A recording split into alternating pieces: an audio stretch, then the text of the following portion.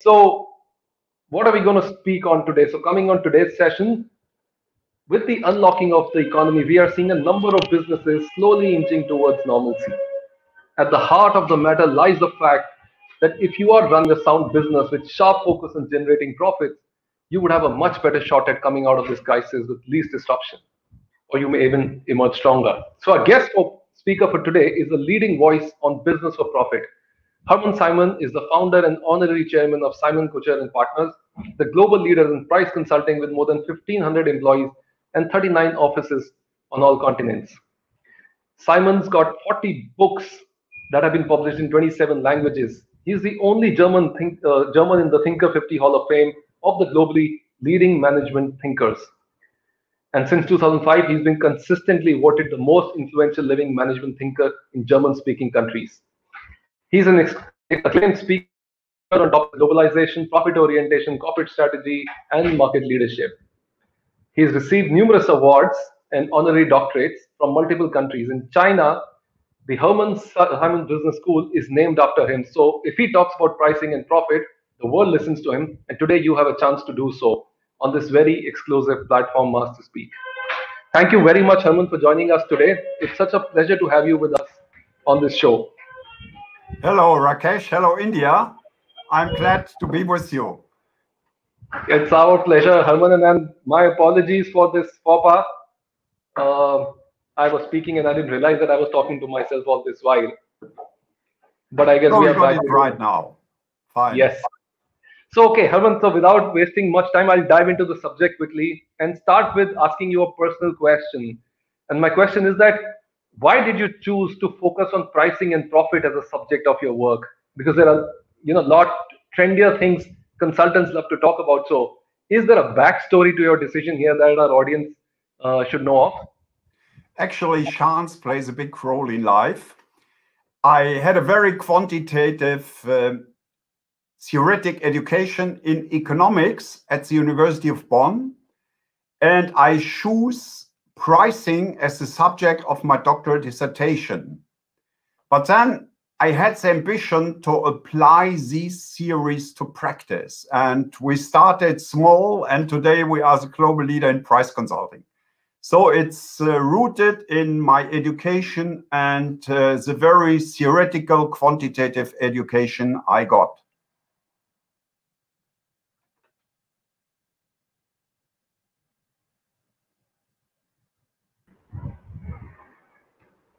Superb, Simon. And I'm sure our audience are all ears to listen to uh, the years of research and the work that you have done. And you've been sharing so openly with so many people across the globe. So let's start with basics, uh, Simon. Uh, the first and the most basic question How do you define profit? And how important is the subject of profit uh, in this current pandemic situation right now and after the pandemic is over? There's only one true and simple definition of profit. Profit is what the owner of a company can keep after he or she has fulfilled all obligations towards employees, suppliers, banks, and the government. Only that is true profit. So, Simon, uh, there are multiple other definitions of profit. What do you have to say about that? There's economic profit, there is social profit, and we've seen businesses, uh, uh, you know, using uh, these different profit definitions uh, to talk about uh, the purpose that with which the business operates. So, what about those definitions? What about you know sustainability as a topic when you speak of profits? True profit is usually quite low that's why companies have been very creative in blowing up the figures. One is EBIT, earnings before interest and taxes. The other is EBITDA, where they add um, depreciation. And then there are very new creative ways uh, used by companies like WeWork or Groupon where they are even adding customer acquisition costs, marketing expenditures, etc., and report that as a kind of operating profit. But that's not profit. Profit is only what the entrepreneur can keep. Economic profit is a different benchmark, a higher benchmark, so to say, which is very meaningful. Economic profit is a profit which exceeds the cost of capital. So you could say that's a kind of true entrepreneurial profit because it shows what the entrepreneur makes more than he would get in the market, in capital markets with the same investment. So if somebody does not exceed the cost of capital, he should better invest his money in capital markets instead of laboring in his own company. So economic profit, I think, is a tough measure, but it's a really substantial indicator of profitability of a company. Fair point you make, Simon, there. Um, Simon, uh, so this crisis, like other crises of the past, has brought, for, brought to fore the fact that uh, you know high leverage companies are often the most vulnerable in these times, and yet a few can do without it. So first off, is this a fact from your research? And secondly, uh, you know, understanding that debt is not bad per se. What is with these companies that they miss uh, to put together that makes them less resilient or in, in these times? Of course, crises are the hour of truth, and profit plays an even more important role under crisis conditions than in normal times.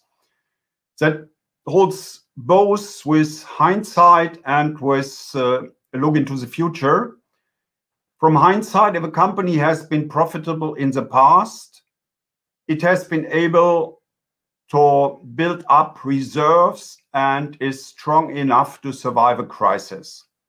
Companies who have not been very profitable in the past don't have these reserves, so they are vulnerable and many will disappear. I think that in the next few months, we will see a, a, a tsunami of insolvencies and, and bankruptcies. With regard to the future, of course, after the crisis, profit will again be very important because many companies have to take on additional debt during the crisis. And only if they are profitable, they will be able to pay back that debt and get an, a good financial ratio between equity and debt again.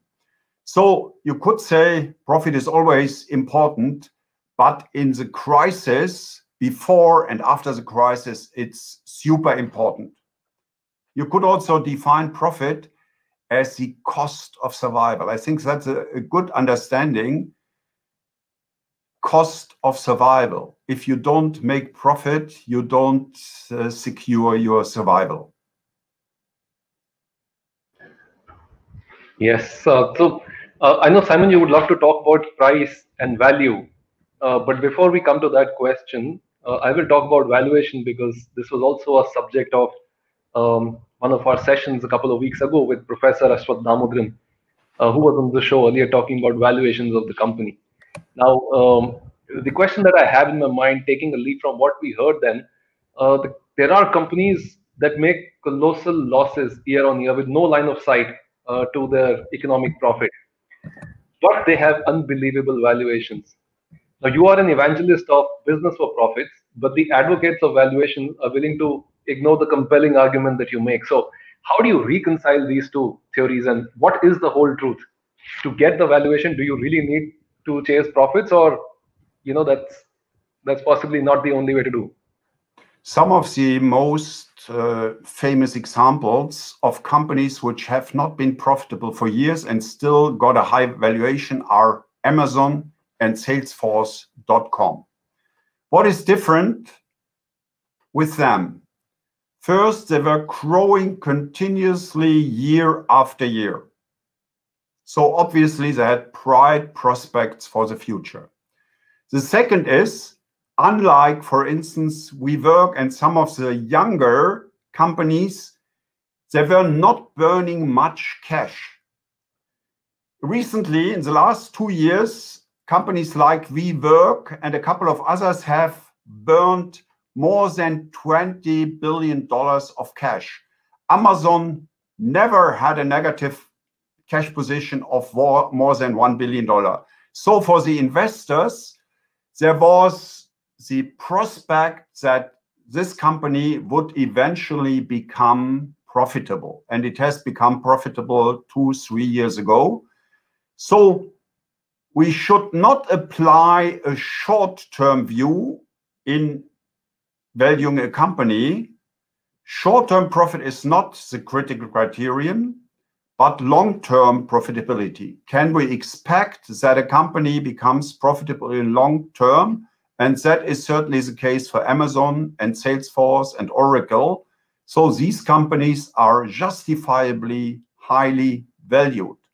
But some of the other companies whose cash burn is too big and whose prospects are highly uncertain will not get the same high valuation. As we we saw it, I mentioned WeWork. WeWork was uh, two years ago valued at 48 billion. Today, it's uh, rather 10 billion or less.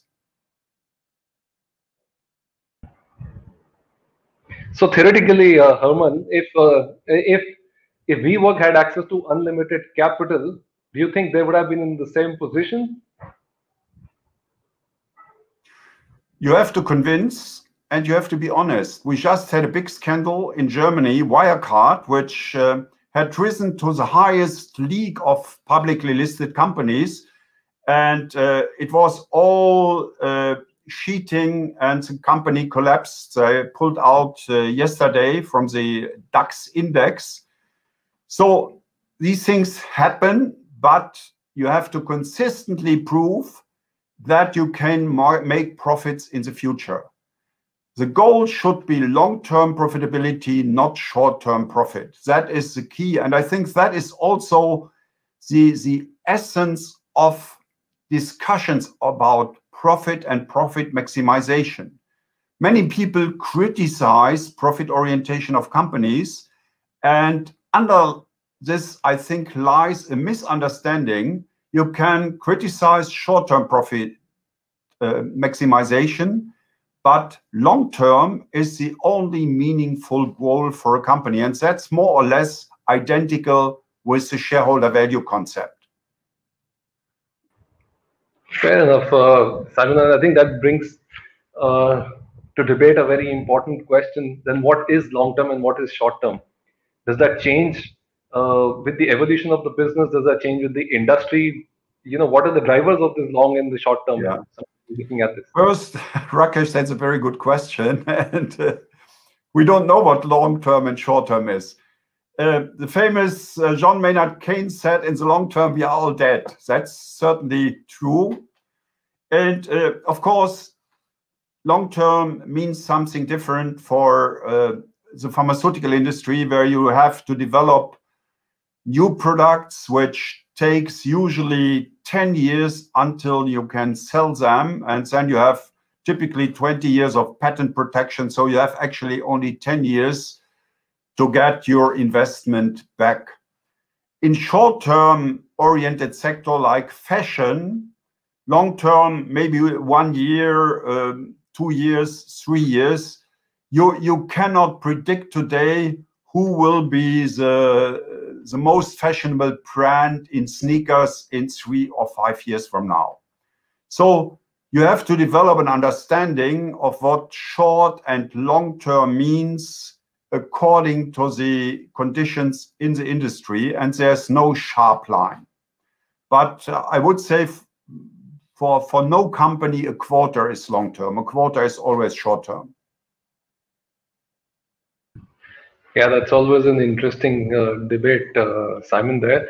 Uh, Simon, I'm you know from from what I read from your work, you've done a lot of studies, and there is empirical analysis done on the um, you know margins companies make in different countries. And I also know that you've sort of you know surveyed people on the street, asking them what their perception of the profits and what actually the margins the companies were earning. So I'm not sure whether it was done for India also, but nevertheless, it would be interesting to hear about that. Yeah. I I haven't done a survey in India, but that would indeed be interesting. Uh, I have numbers, for instance, for Germany, where people in the street think that net profit margin is 23%. The reality is 3.4% over many years. In the US, the difference is even bigger. People think that companies make 31% net. The reality is about 5%. And the record holder is Italy, where the public thinks that 38% are the net profit margins. That's after cost, all costs and all taxes. And the reality is also about 5%. So obviously, uh, normal people have no idea about real profitability, real returns on, on, on sales. And that's strange why that is so. I, I don't have a clear explanation. Now, the second part of your question yes, profits are very different from country to country. Um, India is actually quite good with an average of 9% uh, over uh, many years. Uh, the worst, the lowest country is Japan with 2.4%. And Germany is also not very good with 3.4%. The US is at about 4.5%. Uh, what you can say with regard to countries that emerging countries usually have a higher margin which I attribute to the higher risks, the higher volatility. We see that often uh, countries like uh, Brazil or Argentina run into real problems. So the higher margin in these countries reflects the higher higher risk. On the average across uh, many countries, we have a net profit margin of about roughly 5%. Right. So Simon, you um, you know there are three drivers of profit that you mentioned. Uh, the question that I have in mind is, uh, uh, you know, how much of significance does scale hold? So generally speaking, uh, do large companies uh, make more profit? Are they more profitable? Or you know, from your research, you've seen different answers emerging. Yeah large companies are generally not more profitable. I, I just uh, got the new numbers for the Fortune Global 500, the 500 biggest companies in the world. And they had very two good years in 2019 and 2018, where they made just over 6%. But they also have had bad years. For instance, in 2009, they made only 4.1%. So they are about average. There's always a bell curve, a distribution, and even many of them are not earning their cost of capital. Uh, I think the perception of the public is strongly guided by some superstars, especially the new internet digital companies, uh, Apple, Google, Facebook, who have profit net profit margins uh, of over 20%. So they are really extreme compared to the average. But there's not a big difference between profits of large and smaller companies. Also, among the smaller companies, um, you have uh, profit stars. For instance, in Germany, we have uh, a category which I call hidden champions. These are global market leaders which are not known in the public. Usually mid-sized companies, say with sales between $100 million and um, $5 billion. And they are three times more profitable than the German average. So you have very profitable companies in all countries, and you have also very low profit companies in all countries and uh, in all size categories.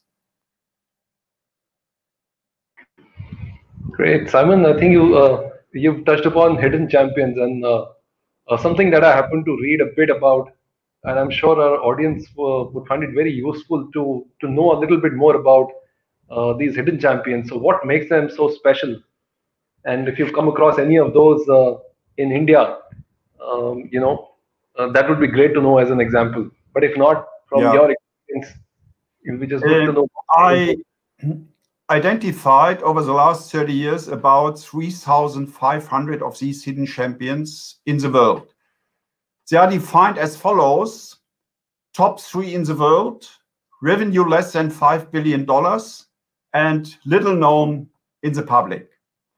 And um, the biggest number is in Germany. Actually, the hidden champions are the backbone of the German economy. But I also found a couple in India, just to give you um, two examples. Uh, one is Essel Propack from uh, Mumbai. They are the global leader in uh, in containers for toothpaste. Uh, they they have uh, manufacturing in 45 countries, and a very modern one is the Indian Institute of uh, which makes they, they are the biggest producer of vaccines, and uh, they they will also enter the production of uh, corona vaccine in the next uh, couple of months or weeks. They are the number one in the world in the production and manufacturing of vaccines. So you have hidden champions in in all countries in very different fields and their strategies are characterized by three aspects. First, to the ambition to be the best, to become the global leader in their field. How can they achieve that? By focusing. Only focus leads to world class. But focus makes the market small. How do they make it big? And that's the third factor by globalizing. So, ambition to be the best, focus, and globalization are the pillars of the success of the hidden champions. Great.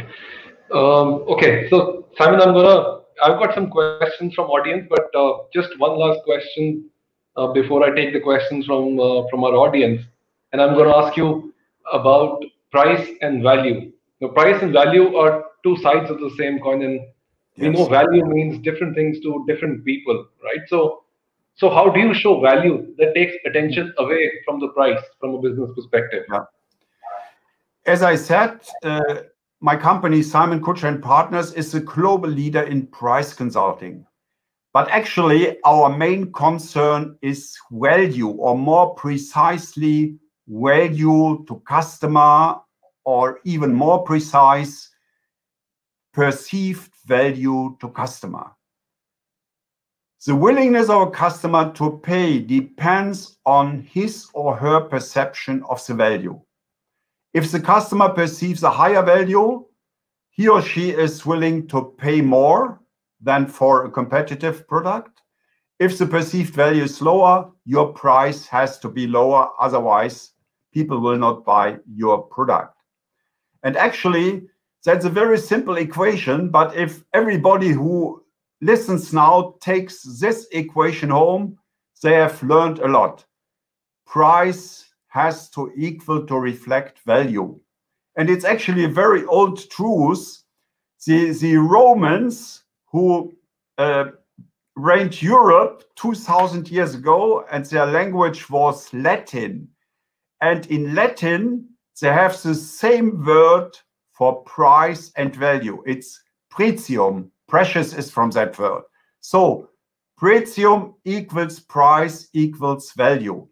And our challenge as consultants and the challenge of each, each company is to deeply understand the value which the customer perceives.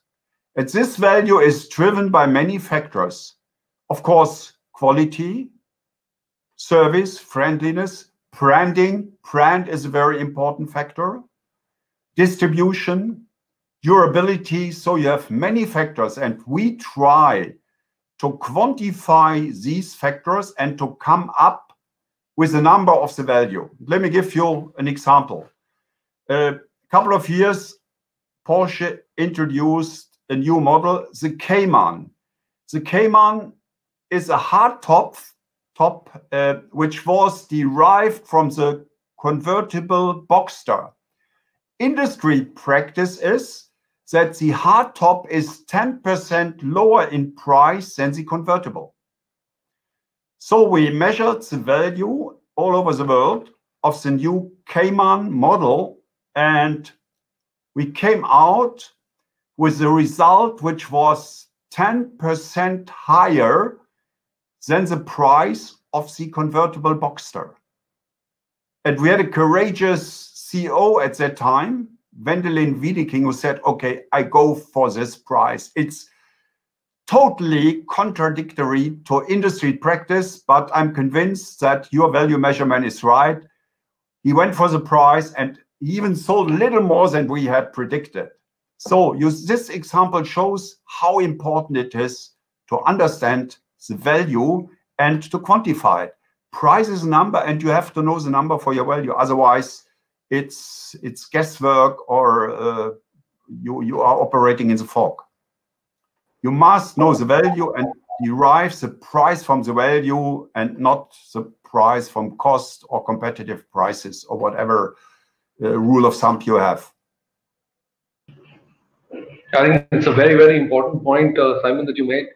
Um, and for our audience who are tuned in, uh, you must uh, uh, take a look at Confessions of the Pricing Man. I think there's a lot that you've spoken about over there, and I found it very, very interesting when I went through that, Simon, on this price versus yeah. value uh, debate. So, the, there is a question. The real specialist, I even have a much bigger book, 600 pages, which came out last year. It's called Price Management Strategy, yeah. Analysis, Decision Implementation.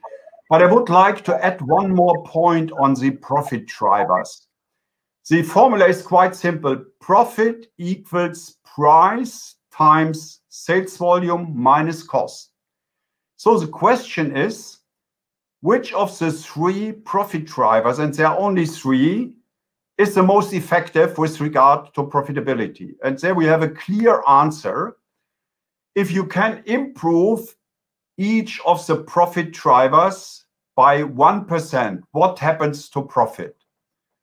if you can increase price by 1% without losing volume, and that's possible for such a slight price increase, the profit will increase by 10%. So we have a multiple of 10 for price profit. The multiple for cost is 6. If you can cut cost by 1%, your profit will increase by 6%, and the multiple for sales volume is only 4. If you can increase sales volume by 1%, your profit will typically increase by 4%. Why is the multiple for sales volume so low? Because with sales volume, your costs are increasing. That's what we call marginal cost. So the cost increase typically eats up 60% of the uh, revenue increase, so that only 10 minus 6, only 4% profit increase remain. So in summary, price is the most effective profit driver with a multiple of 10. Cost is second with a multiple of 6, and sales volume is third with a multiple of 4.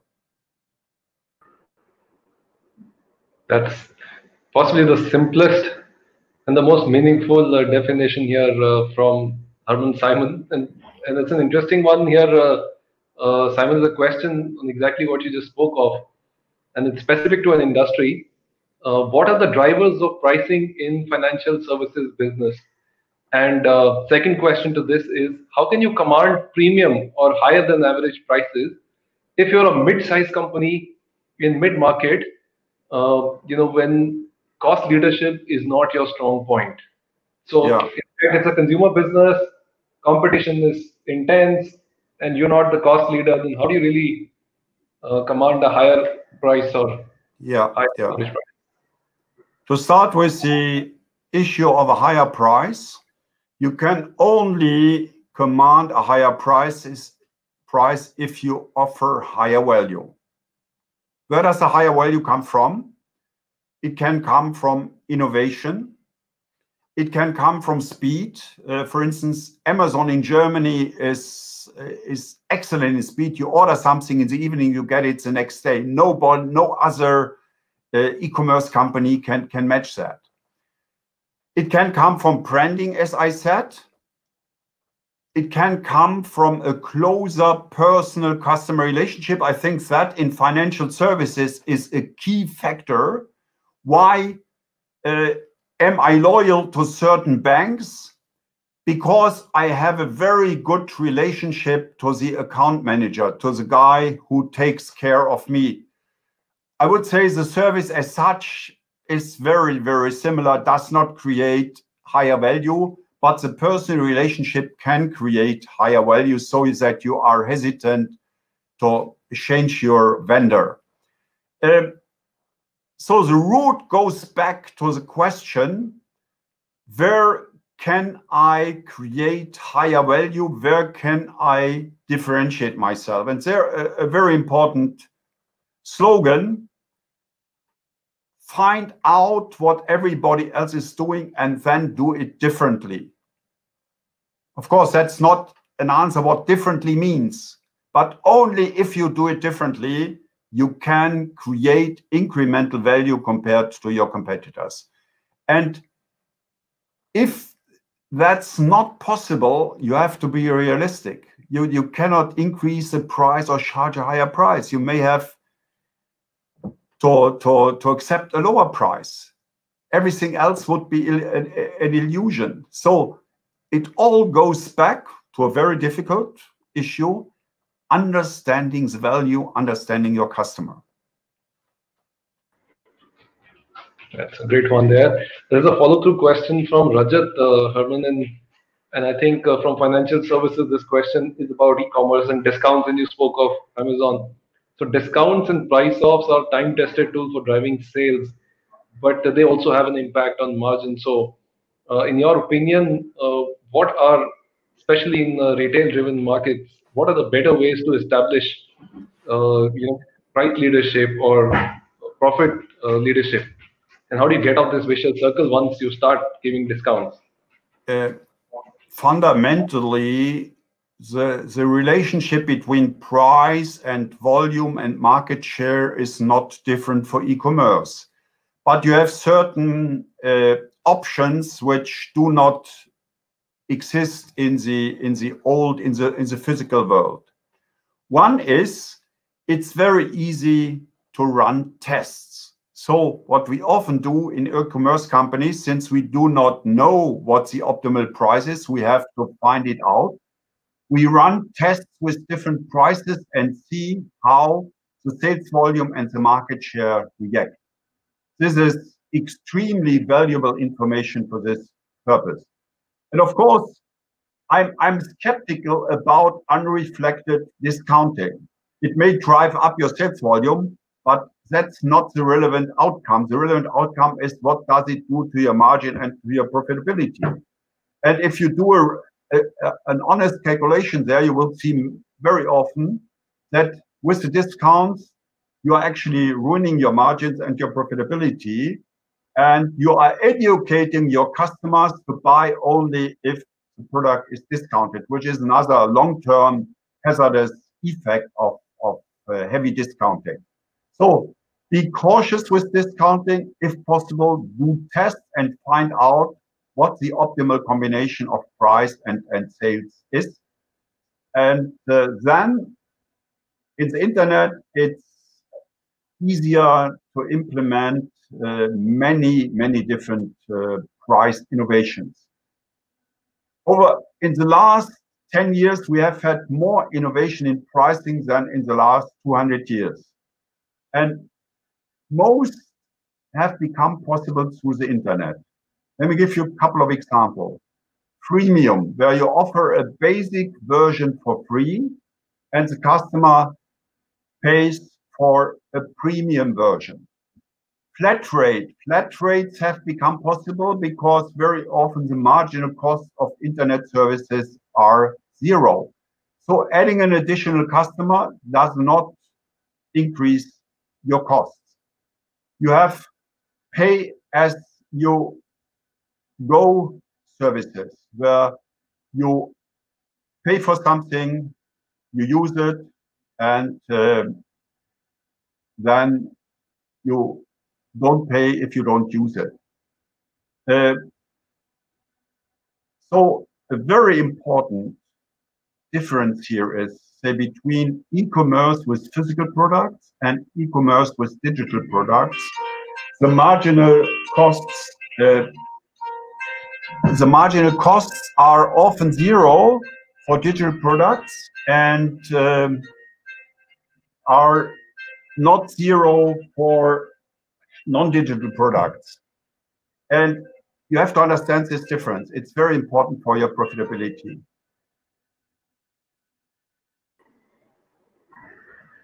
Right. Is it a, I think there's an interesting question. I think a couple of people have asked this question, so I'm trying to rephrase all those questions into one. And I would take Ajit's question is that you spoke of, uh, uh, you know, companies making lower profit uh, because of the cost position or something that they're not doing in terms of showing value to the customer. So, and you've been working with companies across the globe. So, how would you advise them and by them I mean companies which are facing the situation while they're generating volumes, but they're not making enough profits. Yeah, yeah. How would you advise them? Where should they start from if they have to fix this problem? You you have to look at all three profit drivers. So price, sales volume, and cost. And find out where the root of your low profitability is. It can be in each of them if you have reasonable unit margin, but you don't sell enough, you will not be very profitable. If you have high sales volume, but your margin is low, you will not be very profitable. Now, is the margin low because your costs are too high or your price is too low? So you have to go to the root of the problem. And if you look at uh, the superstars in profitability, they got all three profit drivers right. Let's consider Apple or Google. They have high sales volume, high numbers of customers. They have a high price. The Apple price is average Apple price is twice or higher than the average Samsung price, and they have low marginal cost. So this is of course a dream constellation high price, high volume, low marginal cost. At the lower end of profitability, you have the opposite. Companies with high costs relative to the costs, high, low prices, and small sales volume. That is the killer. And the only way to improve your situation is to find out where the wheel is, you have to turn which lever is most effective. If you don't have a value advantage, you cannot increase prices. If your costs are too high relative to the value you offer, you must get your costs down. If you don't have good distribution, not a sales organization, and your volume is too low in spite of a good product, you have to improve your distribution, your sales force, your sales volume.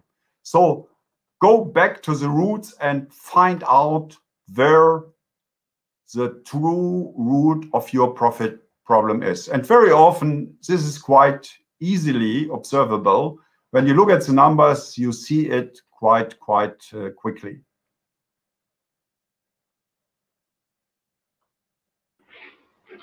Simon, we see, uh, you know, businesses invariably because they have quarterly earnings pressure and the leaders are always uh, under pressure to show results and therefore uh, you know focus on quarterly.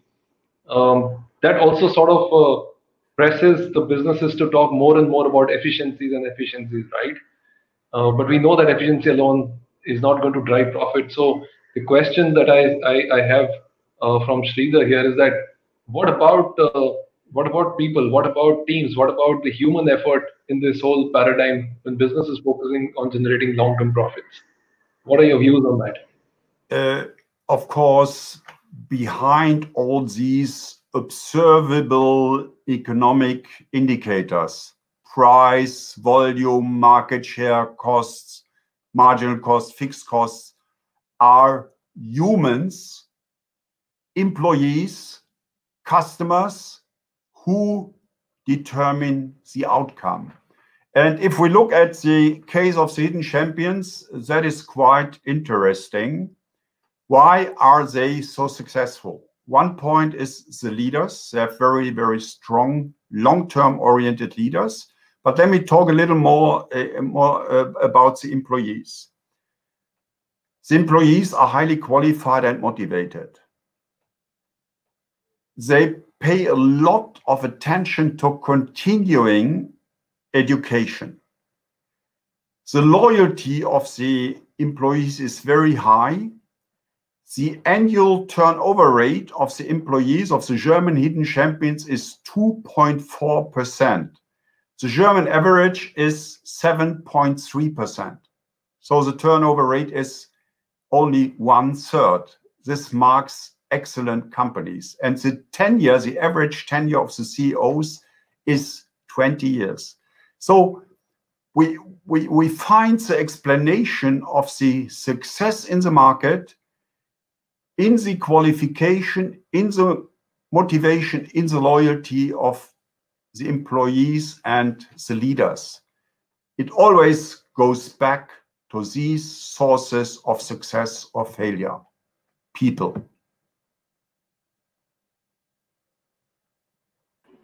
Yes, very well said.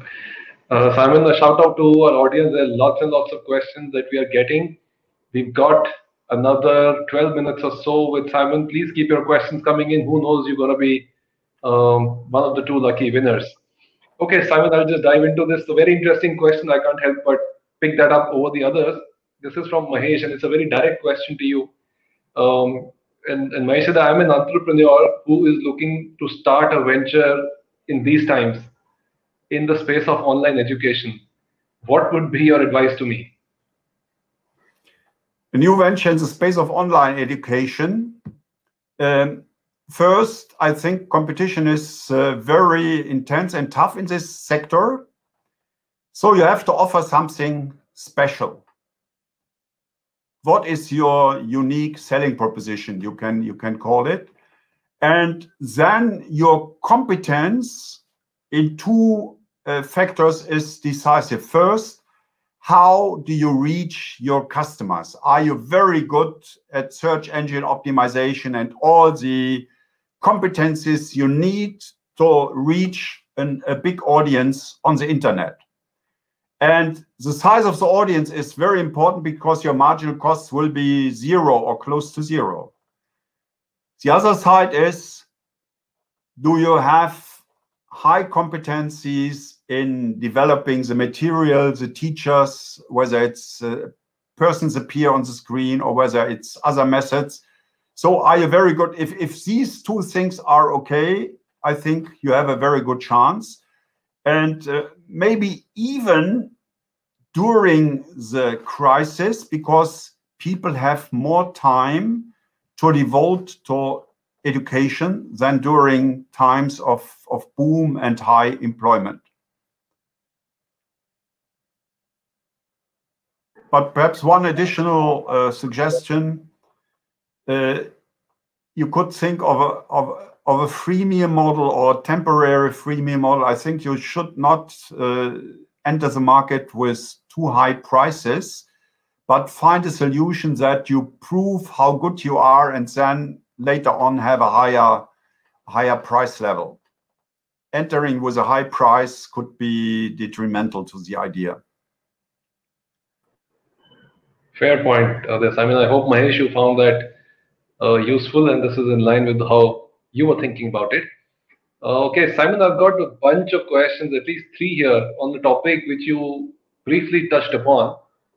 Uh, so I guess uh, I would request you to delve a little deeper, and I'll pick. Uh, I'll make two questions out of these three. So from Shraddha Panikar, um, you spoke extensively about profits, and that's your domain expertise. Uh, so Shraddha wants to know what about topics like sustainability, inclusion? Are they not the drivers of long-term profits for organizations, especially uh, organizations that are market leaders? And uh, another question which you can possibly answer along with it is, um, um, yeah, around innovation. So what if you if you take profit as the main KPI, how do you drive innovation and find investments for future? So maybe mm-hmm. we can take and innovation together. Yeah. Uh, let me first talk a little about sustainability, inclusion, uh, environmental. Um, issues, etc. I, I think they are part of the framework under which we have to operate. And of course, with long-term orientation, which I propagated, only sustainability and adhering to the values of the society is a good strategy. If you exploit the environment, if you produce unnecessary waste, if you pollute uh, the air, you may have, have a short-term profit advantage because it saves costs, but you will fail in the long term. So it essentially leads back to the issue of long-term orientation, not short-term profit maximization. And if you have a long-term objective and vision, I think these aspects of the framework in which we operate and the profit goal are not in conflict but are consistent. And this relates again to value. I talked a lot about value because people value these aspects more and more. 30 years ago, I had a discussion with a large automotive manufacturer, a famous brand, and they already had ideas to make cars more environmentally friendly, but they say the customer is not willing to pay for it. So we, we cannot afford it, drives our cost up. That is, I think, different today. Still, there's a lot of lip service on the side of customers, but still the willingness to honor sustainability, inclusion, social values is higher today than it was 20 or 30 years ago. And this leads me to your second question, innovation. Of course, you have to find a balance. You could say, I, I maximize my innovation by spending uh, 20% of my revenue this year on research and development. That could would probably ruin the company. The average for the hidden champions is, by the way, 6%, and that's twice what the average of, of German companies is, industrial companies is. But normally you need innovation in, in, in 95% of all markets, you need innovation to survive because nothing is standing still. So you have to spend money on innovation that reduces your short-term profit, but it guarantees your long-term profitability and your survival. That's very similar, um, Rakesh, to your question about short and long-term orientation, where we don't have a, a clear line, but we know when we talk about it, we know what we mean. No, that's fair enough, uh, Simon. I think we're time for a couple of more questions. Um, okay, this one is from Rajendra, and uh, you mentioned, uh, uh, Simon, about price having the largest impact on the profits more than the other two drivers. Uh, but what Rajendra wants to know that a company may not always be in a position to exploit that, given their competitive advantage or the landscape they may be operating in. But cost is something that they can control. So, from your experience of the work that you've done in so with so many companies and leaders, where do you find companies should attack the cost? Where you see uh, cost exuberance or uh, you know overspending usually that you have seen happening in the organization? So, where should they start from? That's an interesting experience of the Corona crisis. what we have seen is that uh, in good times, we have a lot of costs for activities which are not really required. We, we uh, accumulate fat in the organization. So I think a, a positive effect of the crisis will be that organizations become lean, leaner and, and, and shed off some activities which are not really needed. Um, concerning the, the price, my experience is that many, if not most managers are afraid of the price. Why? Because changing the price creates a lot of uncertainty. if you increase the price, you don't know how many customers you are going to lose. If you cut the price, you are not sure how many, how much more you will sell. Whereas managers think that they have better control of costs, more effective control of, of, of costs, and to a certain degree also of sales volume by pushing the sales organization, etc. So one problem with price increases especially is the fear of managers. And how can you deal with this fear?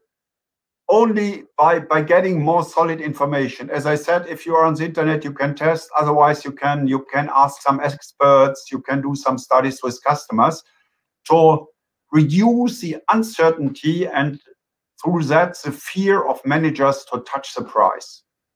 And I, I hold that many companies are not charging the price which they could afford to charge. That's not a, difference of, of 10 or 20%, but maybe of 1, 2, 3%. And as I said, a difference of 1% without losing volume increases profit by 10% in a typical industrial company.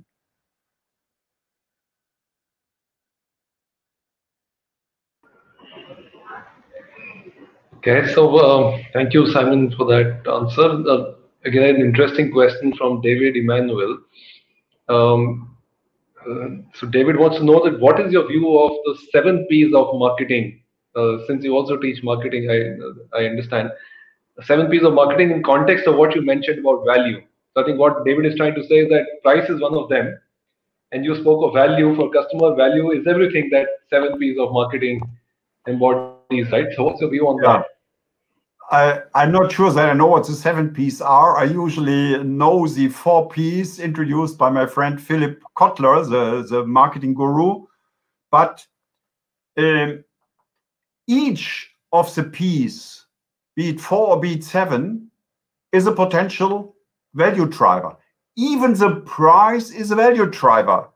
Think of luxury products, there's a price indicates value if you are uncertain of quality as a customer, you may buy the product which is uh, more expensive because you trust that it has higher quality. So each promotion, brand, or whatever the piece are, is a potential value driver. Of course, the product is still, in most cases, the main value driver its quality, its durability, its design. Great, Simon. So last two questions, and the second last one is that uh, you work with so many leaders across the globe, different businesses, different countries, uh, and you've sort of interacted with uh, many, many uh, big leaders in industry. So, what, according to you, is leadership, Simon? And who is a leader? I don't know what leadership is, and nobody knows this. Even one of the most prominent academic researchers on uh, leadership, Warren Bennis, said, We still don't know why people follow certain leaders and why they do not follow other leaders or other people. So it seems that there is a deep secret in the phenomenon of leadership. And it's certainly not the same as extroversion or introversion. I've seen leaders who are not good communicators, who speak very little but are very effective in their in their leadership. Um, I would say again, when you meet a leader, you see a leader, you know he he is one or she is one, but you hardly can say why or define it. That's my experience with many leaders. And I must say,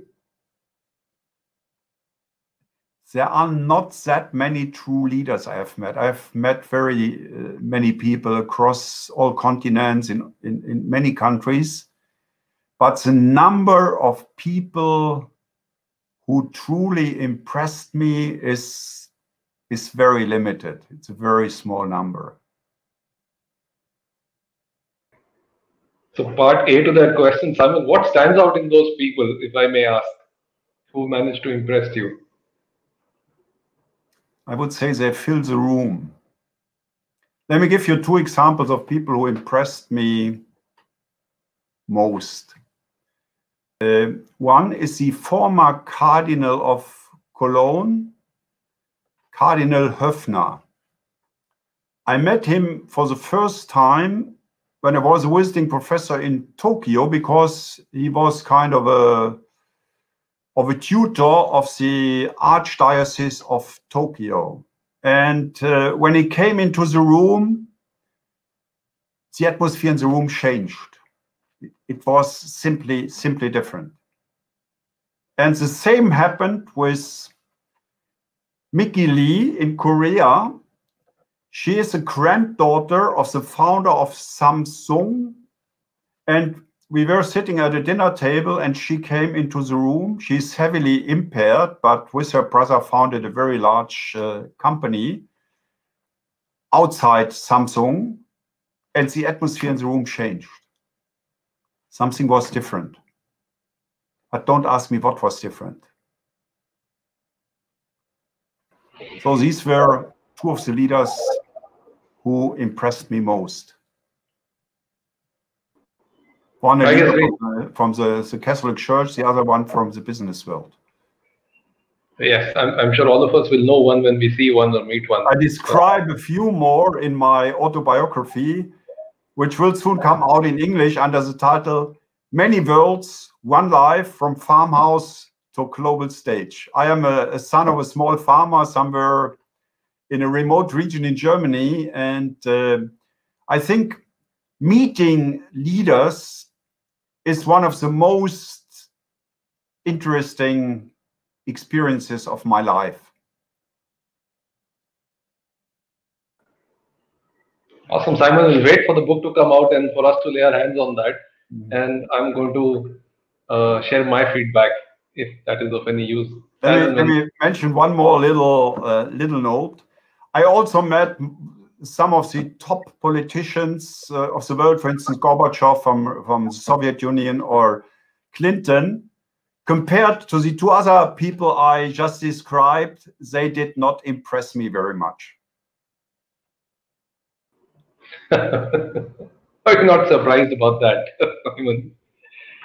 Okay, Simon, uh, last question. Uh, any final message for our audience. Uh, there are a lot of people who are early in their careers and they are uh, in this pandemic situation, which is unprecedented. They're possibly thinking about how should they navigate their career for future, and for a lot of our business owners. Yeah. So yeah. Any any word of advice, or any last word for them that you want to share? Um, my my most important advice is be yourself find out what what you are what you really want to do and then apply the strategy of hidden champions. Be ambitious to become world class, ideally the best in, in your field. Focus. Don't get distracted. And then in the modern world, globalize. And, and that is my own career. I come from a small farm. I developed the ambition to become the best in pricing, we focused on pricing, we globalized. So I can say from a, a farm boy from Germany, it works. And I'm not super intelligent. Uh, I just stay tuned and adhere to these simple principles. Be ambitious, focus, globalize. Awesome, Simon. That reminds me of one of our first few sessions we did with, uh, I think, Nir Eyal, um, and he wrote this book, Indistractable, and he spoke extensively about focus. So you know that's sort of joining the threads here two great thought leaders of our time speaking about uh, how focus can drive things for for all of us and and uh, you know help us achieve our ambition so with that uh, as much as i want this session to go on simon uh, thank you very much for being with us today. We deeply deeply appreciate uh, your being with us and sharing so openly uh, with our audience. And I, I think what struck me about our conversation was the uh, I think the, the candor and the openness with which you answered all the questions. And you've sort of cleared air for a lot of people who've been thinking about how to build their business, how to go about sustaining their businesses. Uh, so I, am sure everybody who was listening to us found it very, very useful. So thank you very much for that, uh, Simon, for being with us today. Okay, you're welcome, and good luck to everybody who was listening.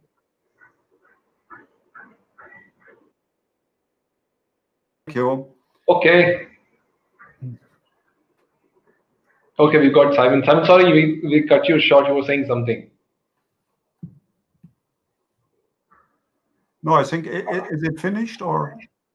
Yes, I, I think you were saying something and uh, we sort of. No, I, I just said good luck to everybody. All right. Thank you. Yeah. Thank you so much, Simon. Uh, stay safe, stay healthy. Wish you all the best, sir. Thank you. Goodbye. Okay, so that last time I remember I forgot to pick the two lucky winners, but lesson learned. Let me just pick the two questions for the show today. Uh, I already have it. Um, ah, yeah, so this is one from Shraddha Panikar who asked question regarding sustainability and inclusion as a means for generating long-term profits. And Rajat, no, sorry, um, my bad. Um, give me a second.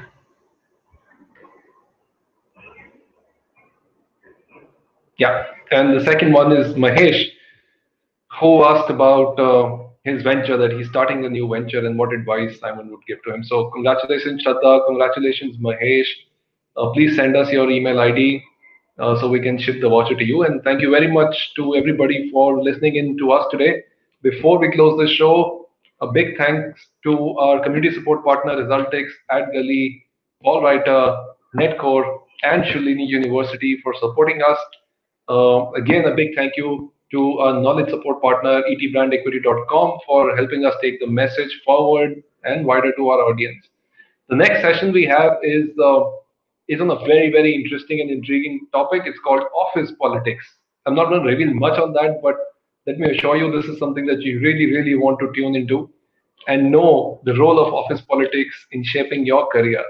That's going to be an interesting one. Session by Niven Postma on 9 September, 6.30 p.m. on MasterSpeak. Thank you very much for joining us. Uh, stay safe, stay healthy, and uh, hope to see you back soon.